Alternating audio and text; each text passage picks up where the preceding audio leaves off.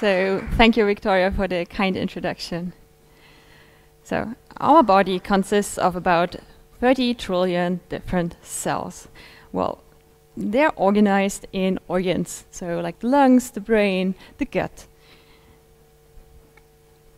Depending on their function, the cells have different shapes. So this is a neuron, so and it helps us to perceive the world as it is.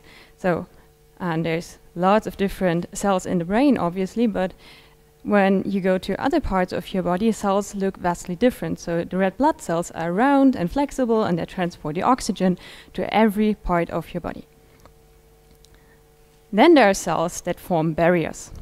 So they keep the bad things out, keep the good things in, and in the case of our gut, they take up nutrients. So we want to talk about single cell genomics today. I will go to talk to show uh, and show you what is this about. And I will use the example of the gut. Well, the gut. It's not just a pipe that turns your food into feces while taking up the nutrients. It's a high performance organ. And what you see here on the left hand side are so called villi. And they extend and increase the surface of your gut so you can take up even more nutrients. When you're on high fat diet, eat a lot of burgers, these villi are even larger. So taking up nutrients is really exhaustive. So, and uh, the cells that take up the nutrients, they die really quickly. And so they have to be refilled and replenished every four to five days, which makes up like 200 grams of cells every day.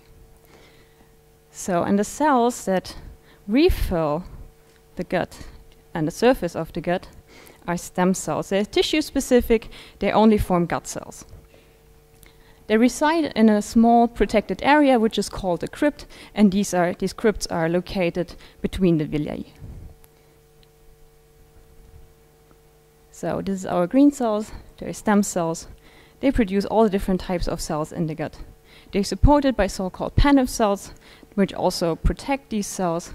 And we have a couple of more cells that produce mucus or whose functions are even unknown to date. So, and I wanted to know how the stem cells actually form the different cell types. Well, for the gray cells that do all the nutrient take up job, that's already quite known, that's okay, but uh, for all the other cells, there's a lot of different competing models in the literature. I counted 12 last time I checked. I reduced this to two. So one would be we have some kind of not more stem cell like direct descendant of the stem cell that produces all different cell types. Or we have this model of direct lineage allocation, it's called. So the stem cells directly decide what they want to be in the future and then become this cell type. All right. So how can we check what a cell is and how they're going to do these decisions, what they want to be? Um, I, I, give you a bit of a metaphor for this. So imagine you have a doctor or you have a policeman. Obviously, they use different tools for their daily life. And the tools are different for the different professions, but they also share a set of tools because they all have to do paperwork or look at a computer. So once a tool's broken, you need a new one. And you order it as an, a catalog so you place an order and you get the delivery. It's as simple as that. As long as you have money, well, cells don't care about money. All right, and in order to get the right item, um, you place the correct catalog number. Okay, cells do pretty much the same thing. They have DNA. DNA is their catalog. So, and what a cell need for a daily life, um, it orders with a molecule called mRNA. And it's as that. It gets a protein delivered, and the proteins are the tools that the cells use in order to fulfill their function. Well, the mRNAs all have also catalog numbers, which we call genes. So, and now to see how cells are working and which tools they use, we now look at all the mRNAs, all the orders a cell is placing, and with this we can actually reveal what the cell is. So, and we can look at every cell one by one and see all the orders that they place at a certain time. So we take our gut, we single out all the, all the cells, and we put this into this nice machine that we can only see through the microscope because it's so tiny. So it's a called a microfluidic system, and all the tiny droplets that you see out passing through to the left-hand side, uh, right hand for you, um, these are nanoliter volumes. So what's a nanoliter? So imagine you take a teardrop, you split it by a thousand, and that's a nanoliter. And we shoot the cells into these small droplets, and we can analyze this um, using these droplets. So these are our reaction chambers where you can count the mRNA molecules. Well, we use Perkin. Let's go to next. All right. So once we counted all the mRNA molecules, we end up with such a data table. So, and I'm a computer scientist, so this is where I actually start to work with. So every, say, every dot and pixel in this um, heat map um, is the number of mRNAs we counted per cell and per gene.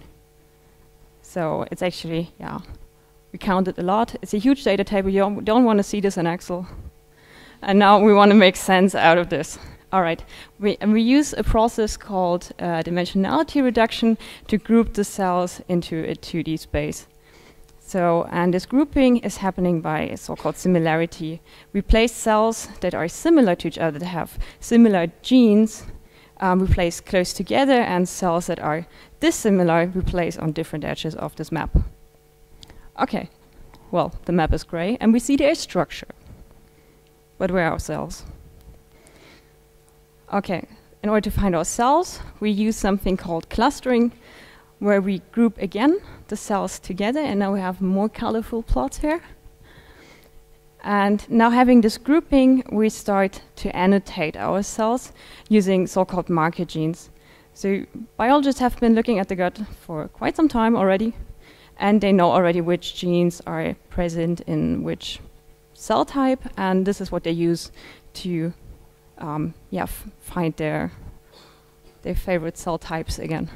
All right, so, and then this is now how we can actually see, okay, we have this map, and we found our cells that we put in again. We can even characterize our cells further to see what's different between the cells, which genes are characteristic for each cell type,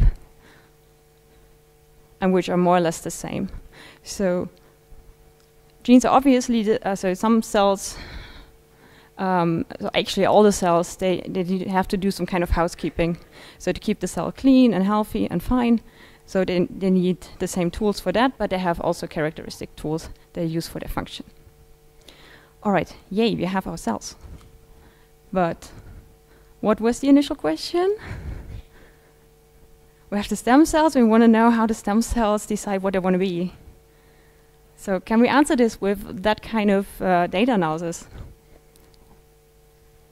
I give you a bit of a different analogy for that. Yes, we can. So imagine you, when you were a kid, you had some kind of a flip book.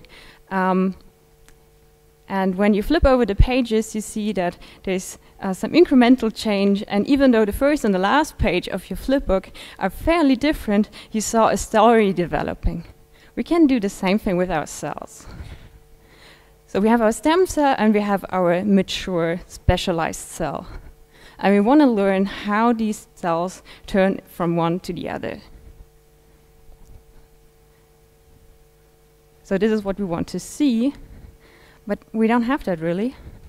We rather have a lot of cells that were drawn from the process.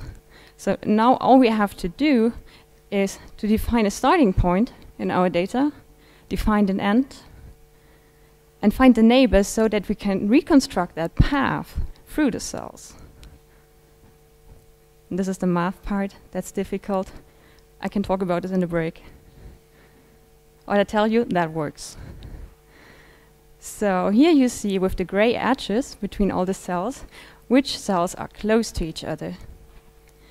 And using now, um, so now we use our path drawing tool to connect the stem cells with all the respective cell types. And what we can see and what we found mathematically is that the stem cells directly turn into the respective cell types and they have their personal direct descendant. Sorry, it's just that the mic is just starting to drop. Sorry for that. All right. So what you can see, so from our data, we can actually support um, this direct lineage allocation model. So the stem cells directly decide what they want to be and how they want to look like in the future. So, but we can do more. We can even watch the cells grow up. So starting from the stem cell, here you see again a nice heat map, and what's red is what's characteristic for these cells, for the stem cells. And what is in blue or even in gray, um, it's not expressed in the cells. And now we can start to, to walk along our path and see, okay, there's a cell that's uh, in an intermediate state where the cell starts to um, transition and we see that a couple of other genes are turned on that are characteristic for this transition state. And again, as the cell is now specializing, we see that the stem cell um, genes are turned off, they're now blue, and the characteristics um, genes for that mature cell types have been turned on. We can use these kind of processes to learn about the healthy state. We learned a lot about the healthy state already. And once we go to a disease state, where we see another cell type popping up and being vastly overrepresented, we can now learn losing, uh, using these tools what went wrong, when it went wrong, and how it went wrong. So, I showed you a lot about the gut today, how cells mature, how they interact, how they grow. But there's more to a human than just the gut. Well, most certainly. And there's a couple of initiatives that want to learn now all about everything about all the other organs. So we want to create uh, a periodic table of cell types of the human and filling in the blanks for all the other cells and all the other organs. Within ForInter, we concentrate on the brain, on the different cell types of the brain, how they interact, how they work, when, when things go wrong, how they go wrong, and once we've learned all these things, we aim to revolutionize medicine in the next 20 years. Thank you.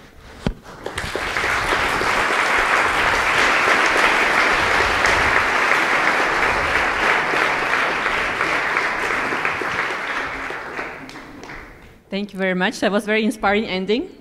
Uh, let's see what kind of questions people have to your talk. There is one on the back. Um, please Thank you for this wonderful uh, talk with beautiful data. Um, and the idea about this periodic table, of course, is that in atoms, the atoms have a relationship to each other, and it's also complete. Is that the same case with these, um, these cells, that the cells have a very clear relationship to each other, and that this is somehow a complete map of all possible uh, cell, cell types? Sorry, the question was not clear, I guess. Yeah, can you rephrase? I'll try. Yeah.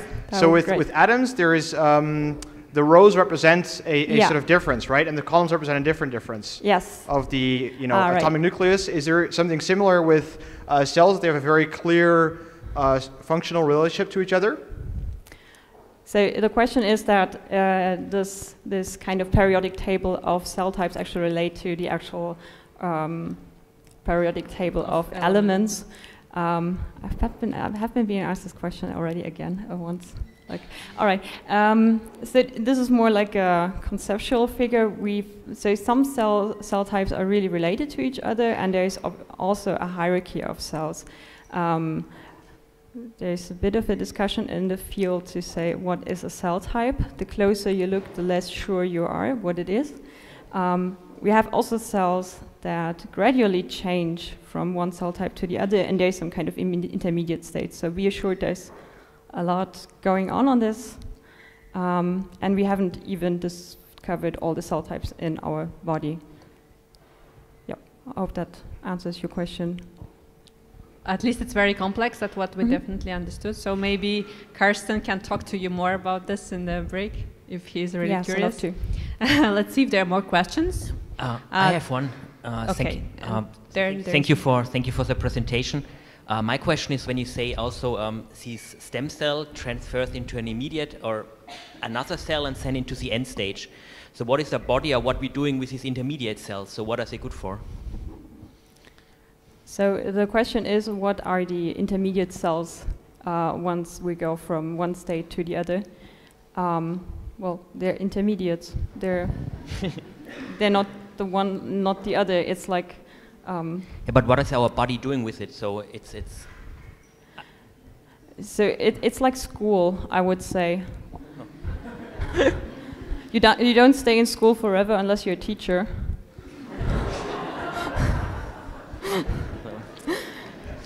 No, no, but, but not to be honest. So um, you basically educate the cells are educated, so they have to change and they change their shape and their, their function. And uh, in this transition state, they basically, yeah, have to turn into the other part. Okay, so, so until they function fully, then basically. Yeah, exactly. Okay. So they have to establish their function. Thank you. Thanks. There was one question here in front. It, it's a it's a related question. I'm just wondering how how you synchronize your cells, because there's going like sorry, oh sorry, um, gene expression is a dynamic event, and so how are your cells like of the different cell types actually synchronized? How do you know they're all in the same place? Okay, so the question is how cells uh, how the cells are genetically, synchronized like, genetically. Yeah.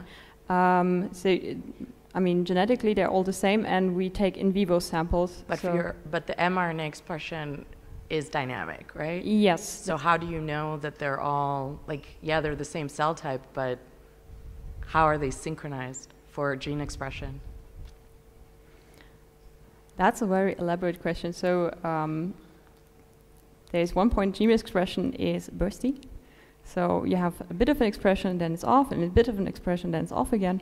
Um, and we average over the, all the single cells. So we get signal for every single cell, and then we group them together and look at these groups again to be sure. So you do it like in post, kind yes, of, not not before you harvest or anything. Like you basically no. get the data and then do it by analysis. Yes, we do okay. it by analysis. That's the beauty of it because you can use organs and just patient samples for this. You don't have to put them, process them in the lab to synchronize them in order to get your signals, you can just take patient samples.